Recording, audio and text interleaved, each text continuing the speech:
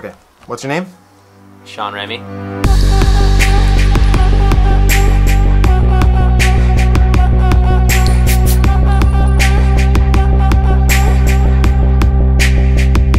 So uh, How long have you been riding? eight years. Road bike for three. Track bike on the street, like a road bike for th- before that. What's the biggest change that you've seen since going vegan? Energy, performance, recovery. I say recovery. Like you do 100 miles the next day. I don't. I haven't been sore from a workout or a ride since. I just remember like eating whatever I wanted after a race, and then the next day being really sore and just like, oh, my legs hurt, just because I've you know shoved my body full of that food that it just didn't recognize. So how many calories do you eat in a day? I'd say average four, but it's four to six thousand a day. Um, I, I'm comfortable with four on days that I don't do anything. I found that eating recommended 3,400 a day to maintain my weight. Like I'm always still hungry, and I think it's just because I love eating so much. I always have If you could only eat one thing, rice, white or brown, white. It's a higher caloric value, and it, I think it tastes better. I always have. What do you add on your rice? Habanero sauce sometimes, a lot of the time, and soy sauce. What's your take on sugar? Uh, glucose. It's what your body runs on. No nutritional value, but it's fuel. Um, that's all I've been using. I don't use any supplements. I just sugar, fruit, and then high starch at night. And I'm, I mean, I don't get cramps. I haven't gotten a cramp in months. Yeah, sugar. It gets me through a five hour ride. And I don't have to eat like a bunch of like bars or I don't have to spend money on that. I just eat like dates and have sugar water, no electrolytes. What's the main thing you would eat on a hundred plus mile ride? Monday I did a five hour ride. Um, I actually ate before, so I had six bananas, which is like 630 calories, and um, so sugar, carbs, and I had two dates per hour. I'd eat two dates every hour, and um, I split one cup of sugar, which is 675 calories, between both my bottles. So by the time I got done my 100 mile ride, I had about 2,000 calories, and then had 3,500 calories on my like recovery meal, like total for the day already, and felt phenomenal. Went and ran errands, like wasn't tired. Ate a pizza, a large uh, Whole Foods pizza, no oil, no cheese, all carbs, mushrooms, tomatoes. Yeah, and never get food coma. I just get more energy, and I just feel great afterwards. And my favorite dish is I'll get eight servings of pasta, like a whole pound, and I'll cook that and I'll do a whole pound of mushrooms, which is only 145 calories. It's like potassium and protein only, but I just love the texture and um, I just love mushrooms.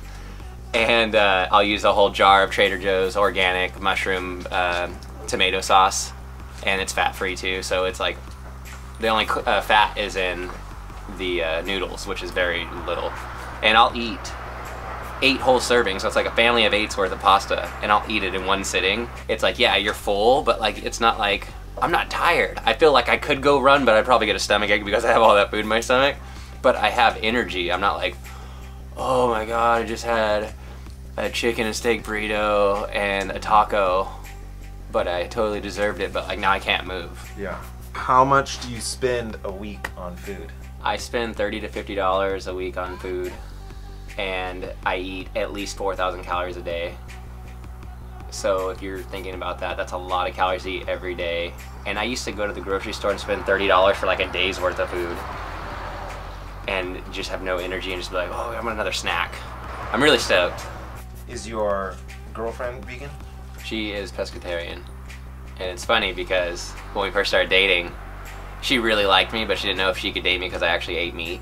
And so it kind of bothered her. Um, and I kind of have her to thank for in a way because I've always kind of wanted to give up meat. It just made me start thinking about my health, and you know, I was obviously noticing things about my body that I wasn't pleased with. So I cut out meat and thought, oh, I'll never go vegan. But when I researched what was the healthiest way to live, let alone what I've been experiencing with my body and my whatever I'm doing every day, How do you handle a relationship with a person that you care about? Um, the biggest thing is my daughters. I they eat everything that I eat when they come over, um, but at their mom's house, they have a freezer in the garage full to the brim. It's all meat. All it is is chicken and beef and steak, and they have meat with like every meal. And so that's just one thing that worries me, and I try to get through to their mom. I understand it's their choice, but it's you know when they're like, but it tastes so good, isn't really a good enough answer. I get it. We were all raised the same way. Most like you know with eating habits. Kind of mad that I never knew. Since going on a uh, vegan diet, how often do you poop? It's funny because everybody's like, "Oh my God, you're eating all those bananas and stuff. You're gonna go to the bathroom all the time." It's like it's regular now. I would say like maybe three times a day. It's consistent bowel movements. It's so regular, and it's like I never have trouble going to the bathroom. If vegan was so amazing, if vegan was the ultimate diet, why aren't some of the most elite world athletes vegan? I think that for people that are like at that stage of fitness and level of fitness, like yeah, I'm not gonna lie, like if you look at like top bodybuilders, the athletes, they could eat garbage, they're training, so they it does work, but what happens when they stop? Look at any of the great cyclists, Greg LeMond, Eddie Merckx, they you know, they used to be skinnier than us. And, you know, I always thought that when you get old, you get big. That's not the case. That's just because you stop moving and you feeding yourself all this fat. And so therefore, the fat you eat is the fat you wear. It's just in the long run, it's not sustainable. Like this is sustainable. I could sit on the couch. I wouldn't eat four to 6,000 calories a day because I wouldn't be moving, but I would have, but at the same time, I'd be giving myself all that energy to go do stuff. But, you know, I still wouldn't be sitting around eating like a majority of my calories from fat so it's good because you're still going to be healthy. One shred of advice to help someone that wants to try plant-based while still living with their parents who don't agree.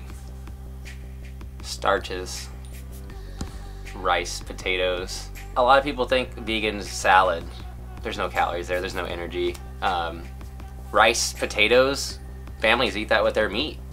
So you could eat that and just skip the meat or it's really hard the parenting thing um, with the parents not supporting it.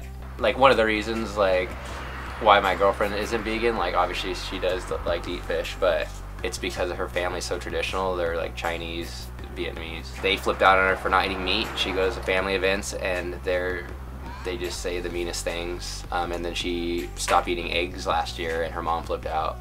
And so it's like, it's really hard, um, her staying with her family after graduating.